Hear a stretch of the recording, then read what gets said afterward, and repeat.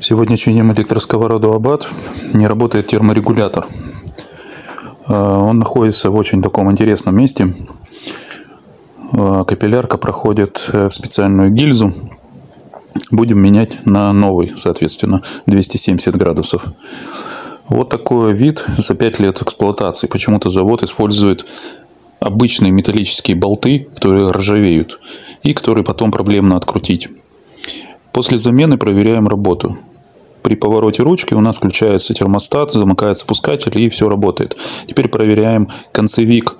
Когда вы ванну поднимаете, он должен отключать нагрев